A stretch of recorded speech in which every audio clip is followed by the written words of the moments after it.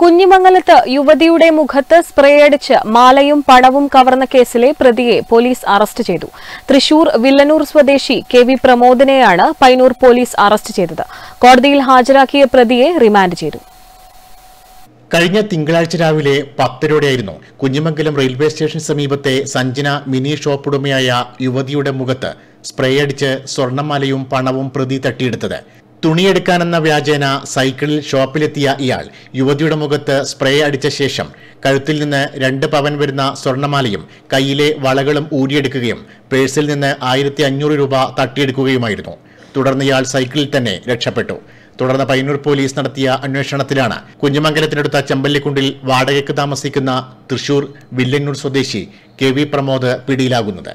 ഈ കേസിന്റെ അന്വേഷണത്തിൽ ഇവരുടെ പല പല വഴിയിലേക്ക് തിരിഞ്ഞു. പക്ഷേ കേസിൽ ഒരാൾ പറഞ്ഞു ഇങ്ങനെ ഒരാൾ സൈക്കിളിൽ ഇങ്ങനെ പോയിട്ടുണ്ടെന്ന് പറഞ്ഞിട്ടുണ്ടായിരുന്നു.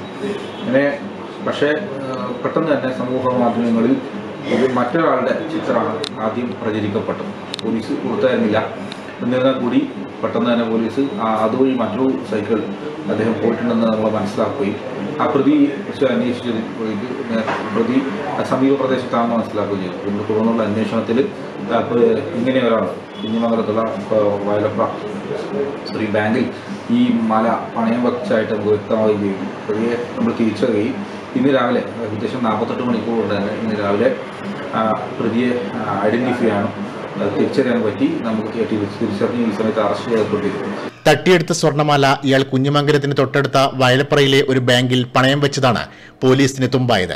റോഡരികിലെ ഒരു വീട്ടിലെ സി സി ടി വി ദൃശ്യങ്ങളും പോലീസ് പരിശോധിച്ചിരുന്നു. പാറ്റകളെയും മറ്റും കൊല്ലാനുപയോഗിക്കുന്ന സ്പ്രേ ആയിരുന്നു പ്രതി യുവതിയുടെ മുഖത്തടിച്ചത്. ഈ സ്പ്രേ അടക്കം പോലീസ് കണ്ടെടുത്തു. കേസുമായി ബന്ധപ്പെട്ട് നിരപരാധിയായ ഒരാളുടെ ഫോട്ടോ ചില മാധ്യമങ്ങളിൽ പ്രത്യക്ഷപ്പെട്ടത് വിവാദമായിരുന്നു. കോടതിയിൽ ഹാജരാക്കിയ പ്രതിയെ റിമാൻഡ് ചെയ്തു. Network news Payyanur.